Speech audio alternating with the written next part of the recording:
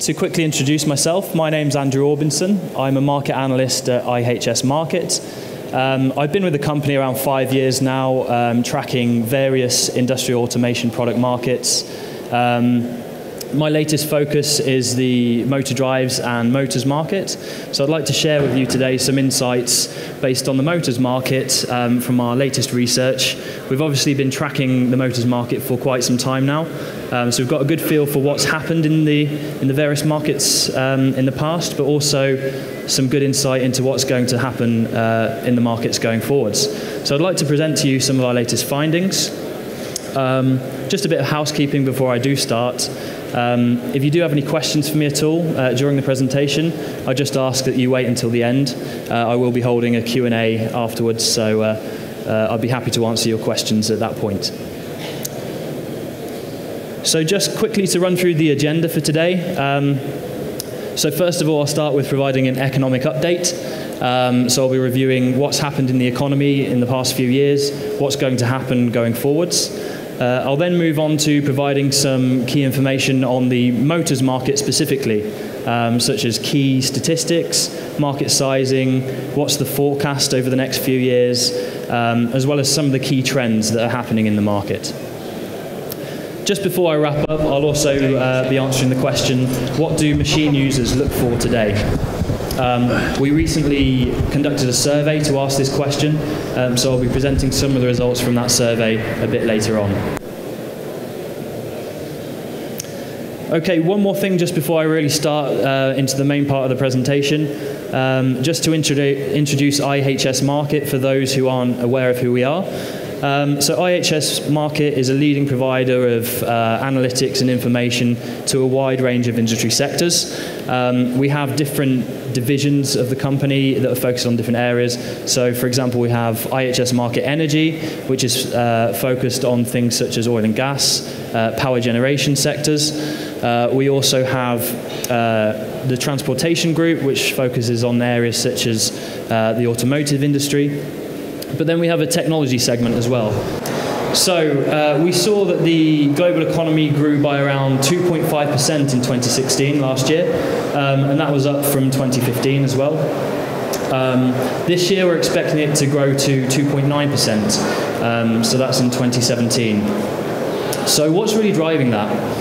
Well, we see the US economy as one of the key drivers, but then also um, commodity exporting regions as well. To give you an example, um, Russia and also Brazil, they're key commodity exporting regions.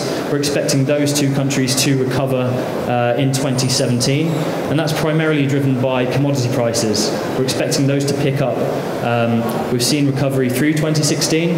Uh, they have been low for a period of time, uh, but we are seeing recovery, and we're expecting growth through 2017 uh, going forwards. The US, we're expecting increased capital spending um, and also reduced tax rates from 2018, which will further boost the economy. Um, so with that, the US dollar, we're expecting that in the short term to strengthen against most other major currencies.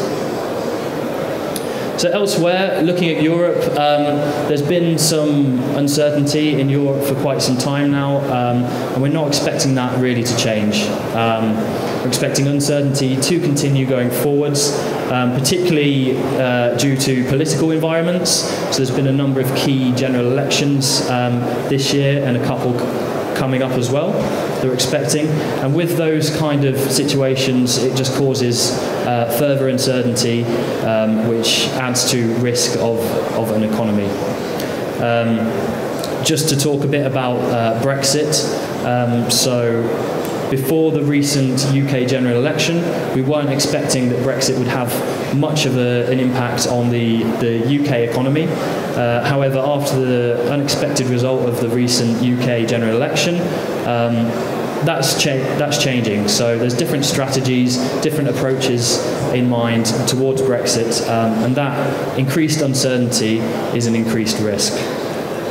Elsewhere in the Eurozone, um, I've mentioned the political issues that are, are, causing uncertainty, but then also there's issues uh, within the banking sector as well that's um, posing a threat to the growth of the, of the uh, Eurozone there.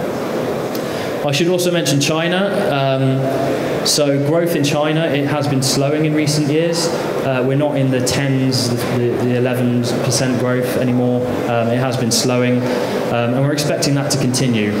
Whilst China will benefit, um, as some of the other regions, from the increasing commodity prices, we're expecting that to be offset um, by market imbalances in credit, housing, as well as industrial markets. So this slide really illustrates um, the economic outlook by region.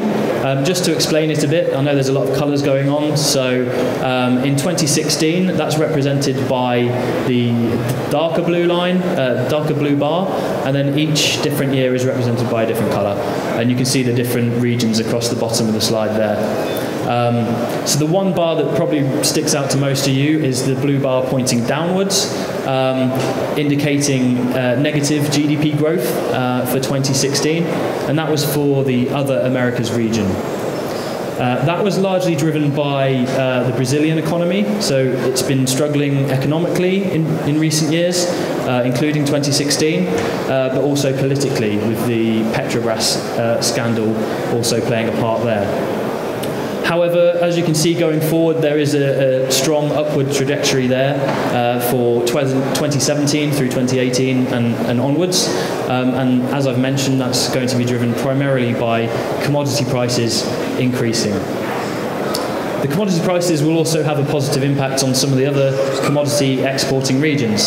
So you can see uh, the Middle East and Africa, positive uh, trajectory going forwards, as well as sub-Saharan Africa, um, and emerging Europe, which would include Russia.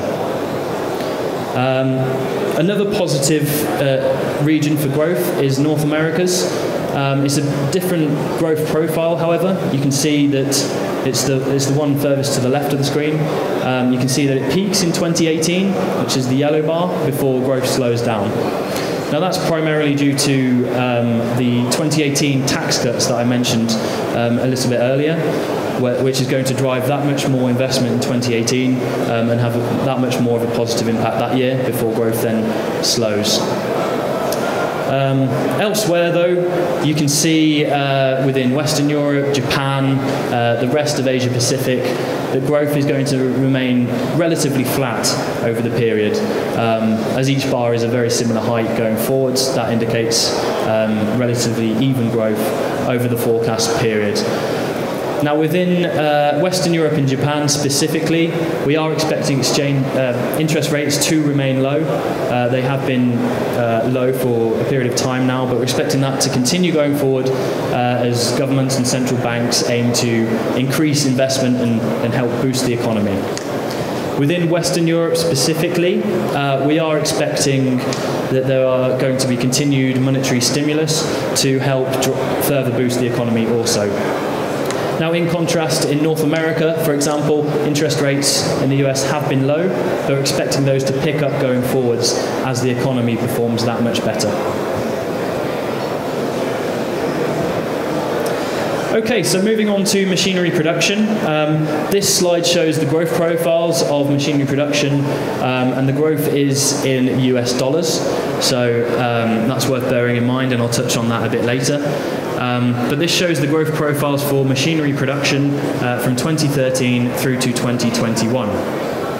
Now, the middle table there and the associated um, figure towards the right, that represents each of the major regions. So we see Americas, Europe, and Asia Pacific. Um, now, the story is fairly similar in each region in that um, machinery production growth uh, actually declined in 2015 uh, and further in 2016 before in 2017 we're expecting a slow recovery um, and the recovery to continue through to 2021. Uh, hopefully you can make that out from the figures on the right hand side where um, the growth profile crosses the horizontal axes around 2017 and uh, is staying low to a gradual recovery going forwards. Um, looking at some of the major regions then, so if you look at the table at the top and the associated figure, um, you can see that uh, the US and Japan, they generally followed the same profile as some of the major regions. So declining in 2015 and 16 before slowly recovering from 2017. Um, it's worth pointing out that Germany and China are slightly ahead of that curve. So in 2016, those countries actually registered positive growth in terms of machinery production, um, albeit very low at 0.4% in both of those countries. Uh, however, it is they were slightly ahead of that curve. They're also forecast to continue to grow going forwards. Um, now, I mentioned earlier uh, that this is shown in US dollars. Now, the, the table at the bottom is really to highlight the importance of considering exchange rate fluctuations when looking at these numbers. Um, in 2015, for example, the euro uh, depreciated considerably against the US dollar, uh, and that's shown from uh, the growth percentage in 2015 for Europe, shown at the bottom. I don't know if you can make that out, but um, in US dollars, uh, machinery production growth declined by 21%, um, whereas in euros it actually declined by just 6%. So that shows that growth profiles can swing considerably depending on exchange rates. So that's worth it, worth keeping in mind when considering these numbers. Okay, so this slide um, is to review key industry sector weight and performance in 2016 in terms of investment in industrial automation. Um, so looking at the market for industrial automation, you can see that in 2016 there was a fairly even spread of investment across the industry sectors. Um, the largest being infrastructure there, followed by power generation at 7.5%, food and beverage uh, over towards the left, and oil and gas at 6%. Um, now, we'd expect oil and gas to be um, a fair bit higher in previous years, in, in, typical years, if you want to call it that. Um, however, that that market has obviously suffered from uh, low oil prices since 2014, um, impacting mostly in 2015 and 2016, which has caused a, a reduction in that percentage there. But if you do look at the, the lines, now they represent um, the growth profiles of these sectors. So the orange line shows growth in 2016, the blue one shows growth in 2017. Now, as you can see across the board, really, the blue line is that much higher for all sectors um, than the orange line, which indicates that we're expecting growth to pick up that much more in 2017, um, which is obviously a positive thing for industrial automation, um, and the motors market is a part of that. Um, it's important to note that uh, some of the industry sectors towards the left of the screen, those are the more discrete industry sectors, um, which have been less affected by commodity prices we've seen. Um, and you can see that from the growth um, lines being that much higher. You then see a, a bit of a dip, the U shape there, um, and that's related to the growth profiles of metals and mining, oil and gas, and power generation, which have been that much more affected um, by commodity prices. Uh, the process industries we see being hurt more. Um, that said, uh, we are expecting growth across all sectors going forwards, uh, further out from 2017. It's also important to note that this is a representation of the global market. Um, so there are different regional factors that play a part into these numbers. Um, for example, power generation, which is larger in Asia Pacific, different economic trends in Asia Pacific are going to have a, a, bit more of an impact on that than in EMEA, for example, which is smaller for power generation. EMEA would be more focused on oil and gas than Asia Pacific, so it does work both ways. Um, so these are the different dynamics that play into these global numbers. So I've talked a bit about commodity prices increasing. Um, this slide shows commodity prices over, or material prices over the last uh, decade um, in terms of an index. Now I'll focus just on the, the last few years really, where you can see the, the decline in, from around 2014 um, and continued decline in 2015 before prices really stabilised through 2016 and actually started to rebound. Um, now we are expecting that upward trajectory uh, towards the end of the, the graph there to continue through 2017 going forwards. That's for materials, that's going to have a positive impact on industry sectors such as metals and mining, so we'd expect increased investment because of the commodity prices there. Um, similarly, uh, crude oil prices, um, as I'm sure you're all aware, um, they declined uh, greatly in 2014 uh, and continued to decline through 2015. But then a similar story in that 2016 was the rebound year. Um, prices started to rebound somewhat. Looking forwards, we are expecting um, prices to stabilise uh, through 2017 and going forwards, and then increase uh, from there, as you can see from the graph there. Um, we're expecting prices this year to stabilise around the mid 50s um, per barrel. That's driven primarily by OPEC reducing production, but then also it's going to be driven by um, increased investment in ethane processing capacities that we're seeing. So it is a demand side as well as a, a production side.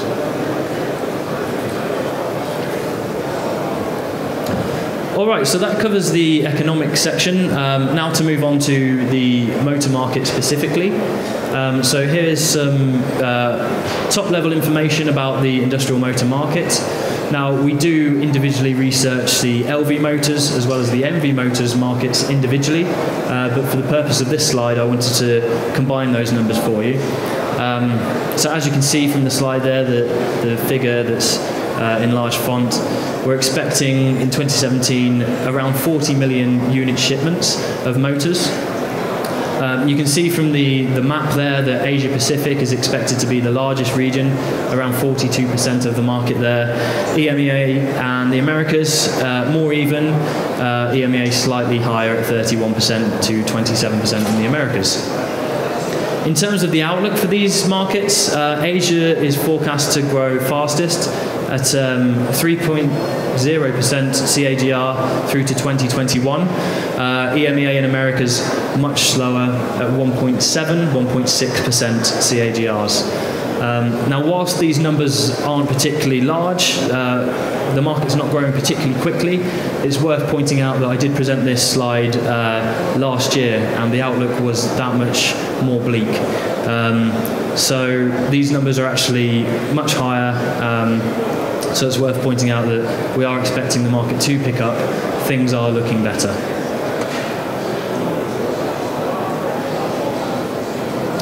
Now this is a, a, quick overview of some of the major suppliers um, for low voltage motors. Um, we've broken this down into a couple of categories. So major players, global players, such as WEG, Siemens, ABB, for example, uh, and then next tier competitors like Toshiba, GE Industrial, Fuji Electric. Um, I won't re- read them all out; they're available there for you to see. Um, but this is an example of some of the players that we're uh, in contact with as part of our research um, and how we see the LV motor market uh, being supplied. So just to review those companies by major region, uh, in the Americas you can see the top three are ABB, WEG and Nidec. Asia Pacific, it's ABB, TECO, and Hyosung. Uh, and then EMEA, it's Siemens, ABB and WEG. Now, Siemens, ABB, and WEG, uh, that are leaders in EMEA, we also see those as the top three globally, uh, just not in that particular order. So, some of the key trends that we're seeing then. Um, we're seeing um, average selling prices and the, the, supply chain to be increasingly crucial.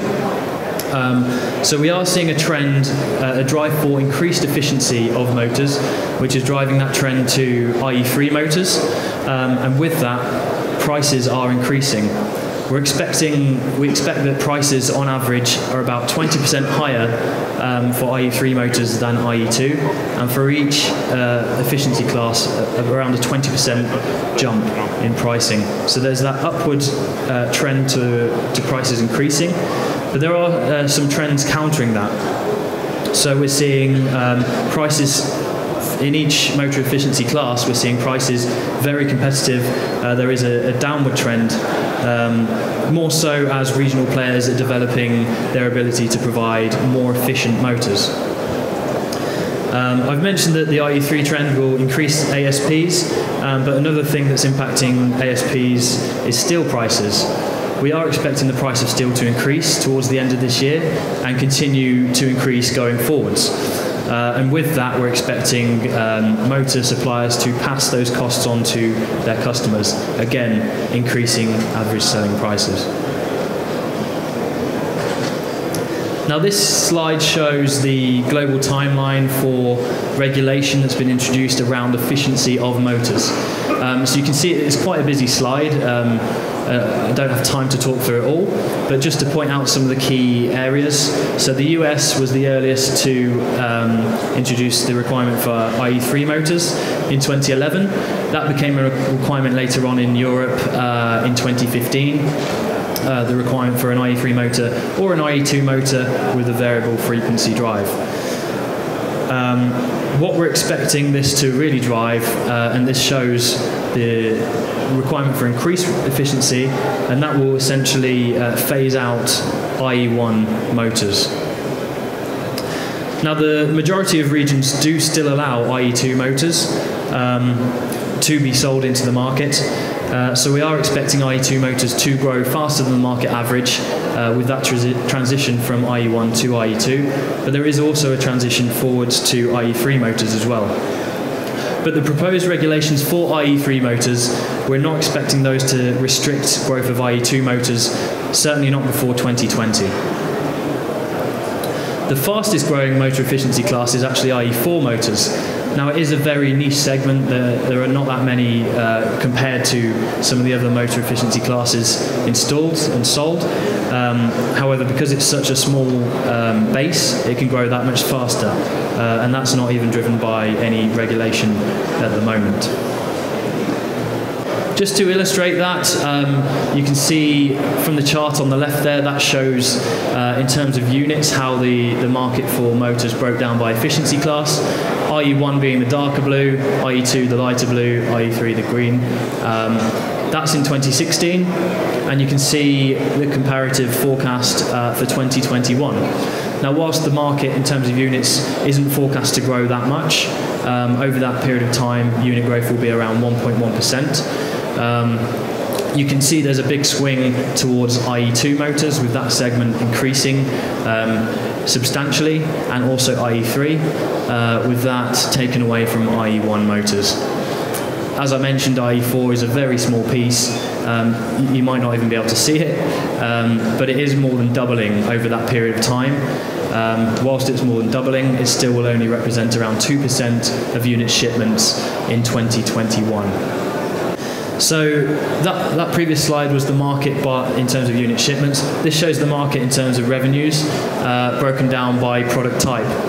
So you can see the list on the, the, top left of the screen there, DC brushed motors, brushless motors, um, and the other categories there, stepper motors and traction motors. Now, stepper and traction, they represent a very small proportion of the market, combined less than 10% in terms of revenues. Um, DC brush, also the percentages next to that. Um, we are seeing a trend from DC brush motors to DC brushless, um, and that's represented by the relative um, CAGR rates on the right hand side there uh, 5.4 uh, to 2021 um, expected for brushless motors uh, and 2.7% for DC brushed motors. Um, using the automotive sector as an example, um, you can see from some of the notes there that we're primarily seeing that trend um, from DC brushed to DC brushless in applications such as powertrain um, and airflow applications. But that's not to say there's um, there's no market at all for DC brushed. Um, clearly there is. we're seeing that more more often in lower cost uh, more reliable applications, for example, power seating uh, and power locks. Okay, so now to review some of the technology changes we're seeing in manufacturing and machinery. Now, I'm sure you've all heard of the Internet of Things, Industry 4.0, smart manufacturing, um, th these kind of concepts. Um, and I'll talk you through this process um, shortly. But just as we're on the, the motors market at the moment, um, it's worth mentioning those and, and, their impact there. So as motors are, are such a rudimentary, have rudimentary functions, that's such a fundamental role, um, Industry 4.0 and IoT, uh, the uptake has not been that great as yet. It's been fairly limited. Communication intelligence has typically been done through uh, motor controls as well as end equipment rather than the motor itself. However, we are seeing a growing focus on system analytics. We're seeing a growing focus on optimization, and really that has increased the value of collecting and using data. Um, so with that, we're seeing um, that there is an aftermarket, for example, uh, with for motor sensors that's been developed um, with that trend. For example, to monitor, th monitor things like temperature, uh, vibration, the kind of things that could indicate an impending failure. So to talk you through this diagram then, we see the Internet of Things, Industry 4.0, uh, not as a revolution. Uh, we have all the technologies available, um, so it's not revolutionary, it's more of an evolutionary process. Um, so where are we today? Today we have co connectivity, we have intelligence, uh, we have sensors, we have storage um, for equipment. This enables us to connect devices, collect the data. But then where do we need to go from there through this process? The next step is really to be able to access that data that's collected and do something with it. So perform complex analytics, for example, to really get the value from, from what we're collecting. And elements of this, um, you can see below the, the arrows there. Um, the use of the cloud, having open interfaces and protocols, um, the concept of big data, and having a set of standards around that to really regulate and standardize. Now, the challenge of all these elements really is uh, cybersecurity, um, and it's not a, an easy challenge that's going to be overcome anytime soon. Um, whilst some companies are taking the lead on this, uh, for widespread uptake, it's going to take some time. And really, we're working towards finding the unique value. So realizing the true potential of having a connected society. Uh, where is this all going? Um, until we really overcome the next stage uh, and the key challenge behind that, which is cybersecurity, um, we're not going to get to the unique value. Um, but we do see that as more as a, a speed bump rather than a complete roadblock. Um, we are making progress there. It's not going to completely stop this trend. It's just going to slow it down somewhat. And the unique value um, it's the ideal goal, um, but it's worth saying that it is uh, some years away yet.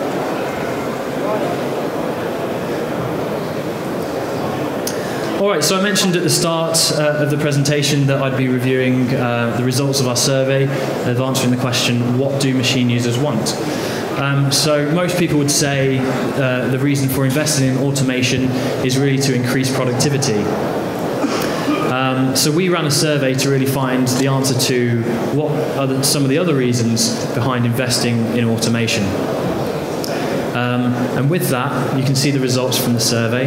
Um, there are a range of reasons provided. Um, you can see the list at the bottom there, and there were many more than this. Um, but you can see that it ranged from things like improving product quality, uh, improving energy efficiency, through to improving cyber security. So around a third of respondents selected improving product quality, um, then around a fifth improving flexibility, for example, introducing new product lines flexibly and quickly, uh, or adjusting batch sizes, for example. Um, then the, the third most selected response was to improve energy efficiency. So things such as increasing the efficiency of a motor, um, using a variable speed drive, for example, um, those kind of things.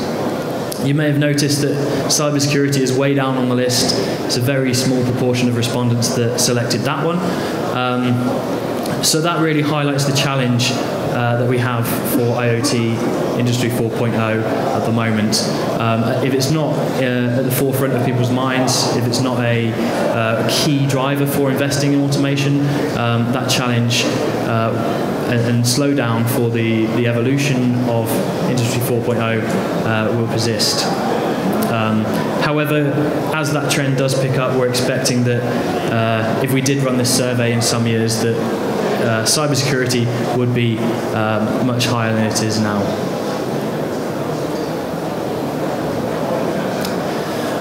Okay, so I've talked a little bit about productivity being the main reason, and that's why we ran that other survey. Um, it's considered a major reason um, for investing in automation.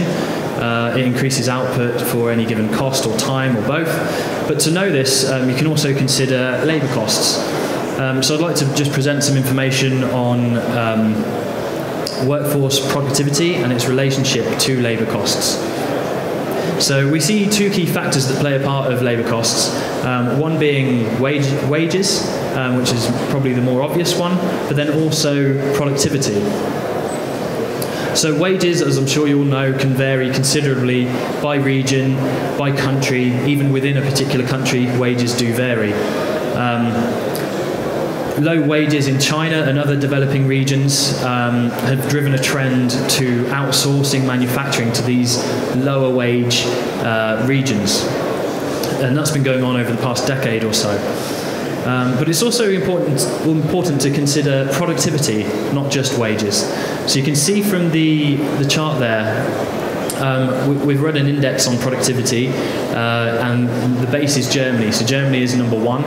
Um, and then the UK, US are compared against it, as well as some of the other developing regions we see.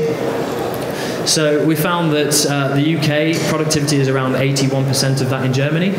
Um, the US is actually more productive, uh, about 15% more productive than Germany. But it's interesting to review some of the more emerging regions where manufacturing is being outsourced to that have these lower wages. Um, you can see China is around 32% as productive as Germany, um, and Mexico even lower at 29, Vietnam just 11%. So really it's worth highlighting here that even though Vietnam has the lowest wages uh, at 1.62 euros per hour, because productivity is so much lower than that of the other regions, it's actually uh, cheaper and labour cost is lower to uh, manufacturing Mexico and China, for example, instead. Now, the, the wages would suggest that there's a huge difference in terms of labour cost, but when you take into account the productivity element as well, you can see that the, the cost of manufacturing is actually closer than you might have realised when just looking at the wages. Okay, so I mentioned that outsourcing to lower cost destination um, it's been a trend for over a decade now. Um, to give you a bit of um, bit of an example around that, we've seen that between 2001 and 2013, um, the US lost 3.2 million jobs to China alone, um, and that was felt heavily in electronics as well as computer parts sectors. Now, a trend that we're seeing, interestingly, interestingly now, um, I'm not sure if you can read that green line, um, but it's reshoring. So, this is where manufacturers are bringing uh, manufacturing back to home economies and home countries. Uh, now, really, what's driving that and enabling that is increasing automation, um, but particularly smart technologies. Um, this is really enabling that reshoring trend.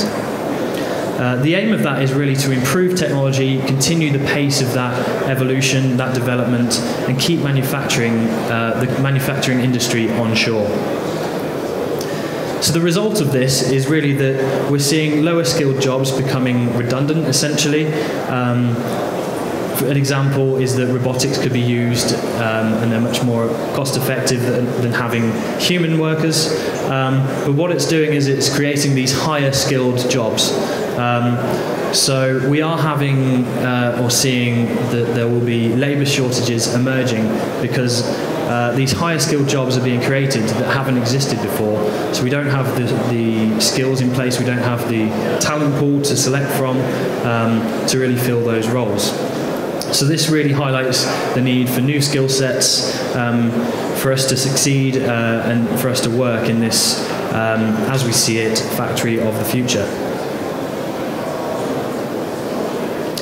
Okay, so this um, really concludes my presentation. Just to wrap up, um, we are seeing a continued drive to efficiency with motors, as I've touched on earlier. Um, but it's important to note that IET, IoT, sorry, and Industry 4.0, uh, they are really bringing solutions of greater efficiency that, than any niche individual product, such as a motor, could bring alone. For motor suppliers, um, they are still enduring hard times. It is a challenging market, but as I've mentioned, and hopefully as you've seen from some of the growth rates, um, that things are improving. We see some of the best opportunities within uh, construction, commercial HVAC, and water, for example. Going forward, uh, there are some notable actions that we do expect. Um, there'll be an increasing focus on providing complete solutions rather than just a niche product, such as a motor. And with that, we're expecting motor suppliers uh, to really have a greater involvement through the complete supply chain uh, to better understand end user needs, not just immediate customer needs. Okay, so that really concludes my presentation. I hope you've all found it interesting and useful today. Um, if you do have any questions for me, my contact details are on screen, and I believe these slides will be made available afterwards. Um, but if anyone has any questions for me right now, um, please feel free to ask. So, does anyone have any questions at all?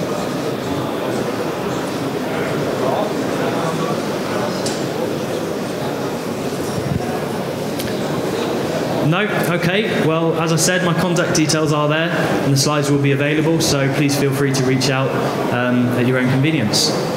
Thank you all very